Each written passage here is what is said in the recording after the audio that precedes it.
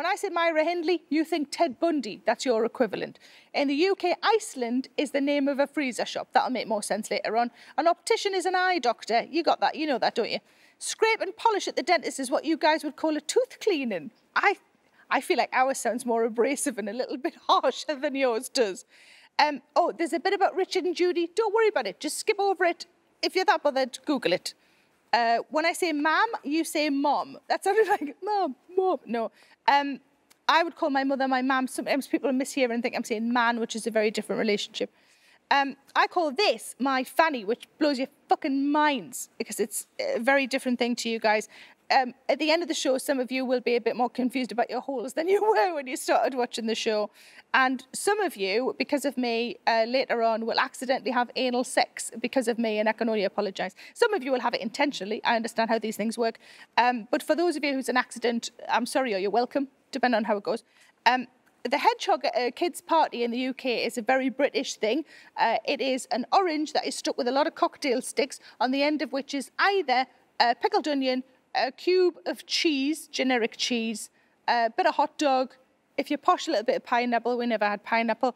And I think it's a sign of how terrible British food is that we have to uh, disguise it as a delightful woodland creature to get it into our children.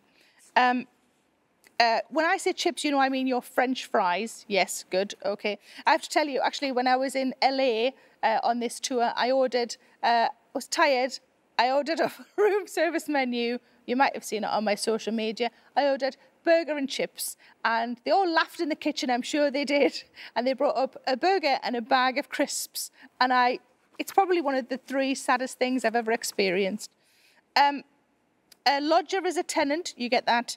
A nightie is a night dress, uh, not just worn by grandmas, also worn by 47-year-old sexy women.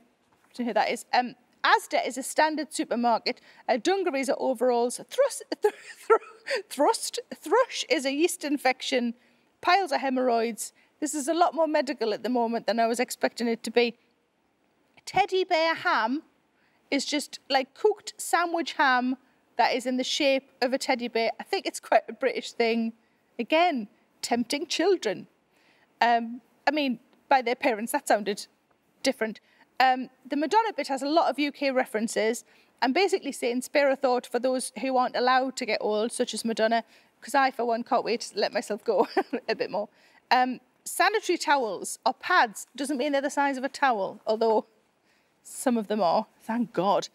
Uh, moon cup, we call it a moon cup, you call it a diva cup. Uh, my husband doesn't know really what they are. Every time he gets mine out of the dishwasher, he puts it in the cupboard with all the other shot glasses. Um, Grazia is a woman's magazine like Cosmopolitan. Varifocals are trifocals. A careers advisor is a guidance counsellor. Smear test, pap smear. Pap smear sounds like somebody's jumping out of the bushes to take a photo of your smear uh, bush. Uh, car jack is a tyre jack, I think, to you guys. Um, you're intrigued by some of these. You're going to look forward to these popping up in... Maybe it could be a drinking game. Every time a reference that you remember pops up, you have a little drink. Uh, two stone is £28. Uh, and uh, the whoop section in Asda supermarket is your clearance section. Yours makes a lot more sense. I don't know why ours is like, whoops, about to eat something that's nearly off. A pebble dashed, uh, you're going to enjoy this, is what people used to do at the houses in the 70s, but in this instance, replace it with uh, my arse just exploded. Just if you could drop that in when you're watching the show. Uh, courgette is zucchini, a&E is the emergency room. And you know that when I say biscuits, I mean your cookies. You know that, don't I don't mean the abomination that you call biscuits. Um, I mean, I love a lot of your food, but what the fuck is that? Uh, I, I once ordered biscuits and gravy in the US and I thought, I like biscuits, I like gravy. This could be incredible. You know, this could change my life. And what arrived was one thing that was so dry, it removed all of the moisture from my system and I did not piss for two days. Uh, and uh, the other thing, I'm sorry, it's not gravy, it's jizz. I'm sorry to have to tell you, but it's definitely jizz.